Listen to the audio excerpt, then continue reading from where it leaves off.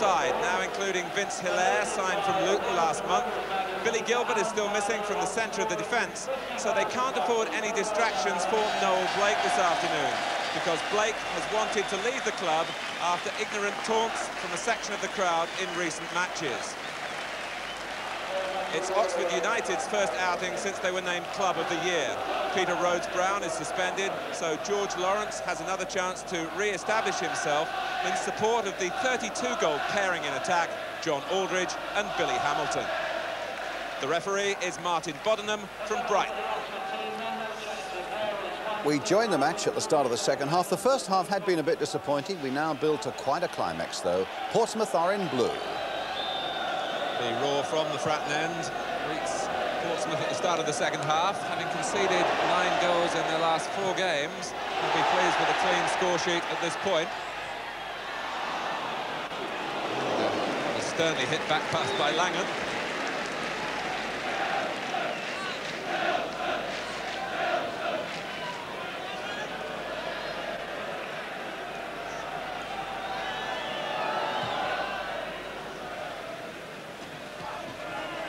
Langan. very tight on Lawrence, and it's Jim Smith, the Oxford United manager, who, on his way down to the dugout, returned the ball quickly for the throw.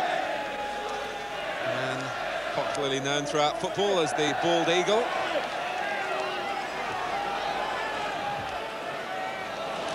Astute touch from Webb, sent forward by Dillon.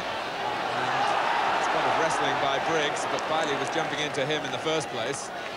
Hebberd fouled by a late tackle from Kennedy. Rueful look at the back of the calf, where Kennedy made contact. Lawrence, of course, does add extra height for Oxford United at set plays. So too does Briggs. And Hamilton! That was a superb save with Portsmouth slipping and sliding. And Hamilton swung into the shot and brilliantly turned away, fingertips by Alan Knight. Bobby McDonald's always a character to look out for set pieces. George Lawrence right in to distract the goalkeeper. And Lawrence off the line by Kennedy.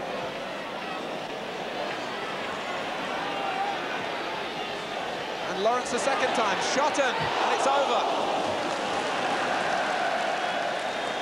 Certainly the closest that Oxford have come, because this time they did beat Alan Knight. Kevin Brock's corner. And it was Lawrence who got the second touch, Kennedy there by the post. Tait. Lawrence trying to about some of the medicine he's been receiving. Trueck almost finding a way through the middle. Hebberd. Now Langan. Aim for Hamilton and for Brock. Oxford have scored. Kevin Brock coming in at the far post. At the midway point in the second half. The deep cross from Langan was certainly aimed for Hamilton. And defenders looked for him and neglected Brock, who squeezed it in.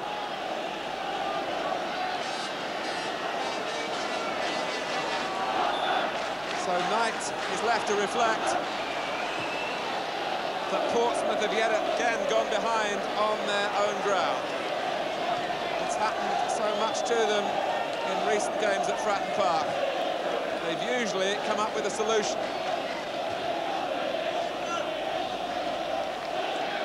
Can they manage here? Webb. Hardwick, beaten to it by Morgan. And the goalkeeper was fortunate that those around him were alert. Portsmouth have a corner. Hardwick was rushing off his line.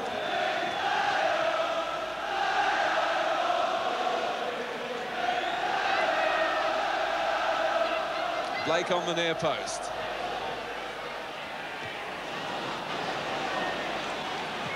Rory MacDonald with a good defensive header. He really is a spring-heeled player. And now Lawrence has lost his balance, but Aldridge coming from inside his own half can take it up. Kennedy pursuing him. And Stanley! What a chapter of events. Gary Stanley, who says that he put through his own goal when the two teams met at Oxford, although that goal has now been credited to Billy Hamilton. But Aldridge was away, and then Stanley almost chipped his own keeper.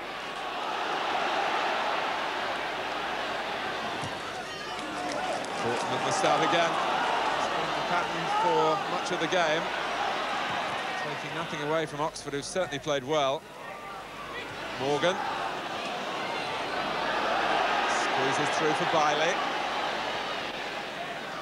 Hilaire. Force back. Stanley. And Blake. Hardwick to the rescue for Oxford. Blake operating now as an auxiliary attacker. Portsmouth really just hoping that something will drop for them now in the penalty area in the late stages of the game. The merest of contact from Blake. Hebberd still full of running. The prize, of course, an important one for Oxford United. Will bring every drop of energy out of their players to hang on to this lead. Similarly, Portsmouth know that a gap will open up three points pass them by. Stanley.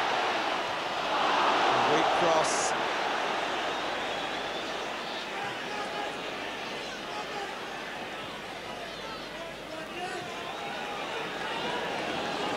Lawrence. It's Oxford's turn to give the ball away. Hilaire. Blake.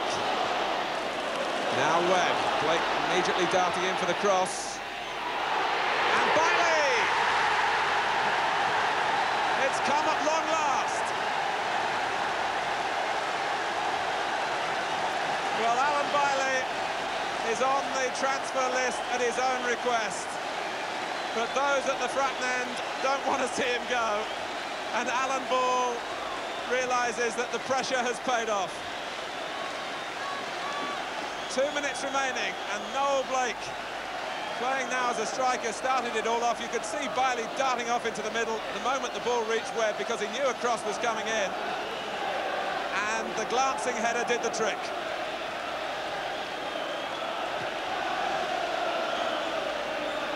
And Portsmouth, believe it or not, have found the goal that they wanted yet again at the Fratton end.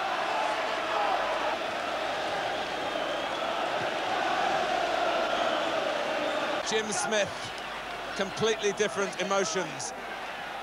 Absolutely furious. Unless his side can regain the lead in the little time that remains.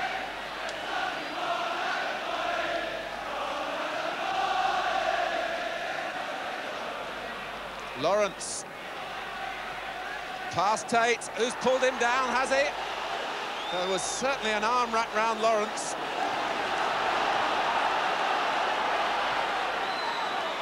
Martin Bodenham, the referee, was very close to the episode. Lawrence is still down. But all the Portsmouth supporters now are thinking about as Lawrence hopes that the game is stopped for treatment. Hilaire.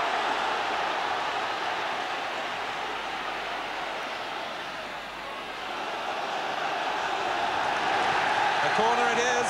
There's barely time for it to be taken. And Biley's placed again. Oh, my word! They can hardly believe it. There's no way, surely, that Alan Bailey will be Portsmouth now.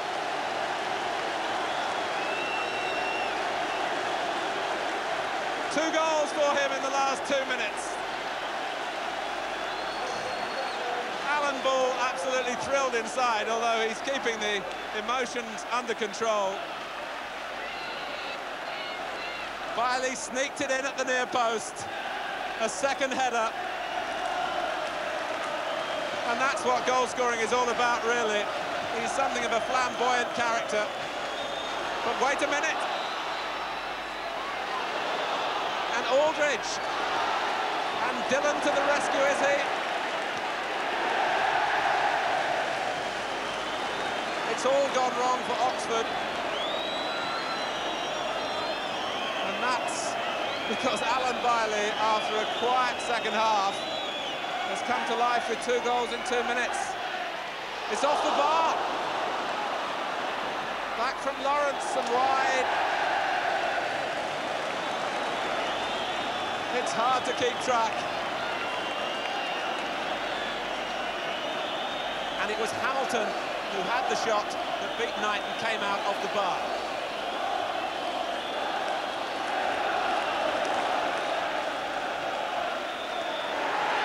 It's all over. Defeat turned into victory thanks to Alan Biley for Portsmouth. The Fratton Enders will enjoy their Christmas with extra relish. Biley's goals in the 88th minute and the 90th minute have lifted Portsmouth above Oxford United in the second division table. It's only Oxford's third loss in the league this season. It remains a magnificent year for Jim Smith and his players despite today's event.